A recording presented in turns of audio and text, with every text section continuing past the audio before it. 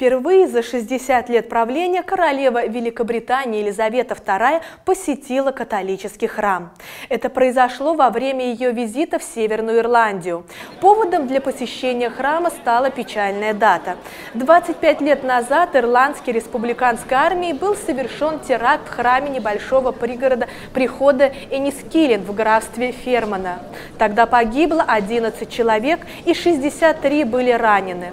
Королева приняла участие в поминальной церемонии в англиканском соборе города, а затем пешком прошла к католическому храму. Здесь она встретилась с верующими и иерархами во главе с кардиналом Шоном Брэди, примасом католической церкви в Ирландии.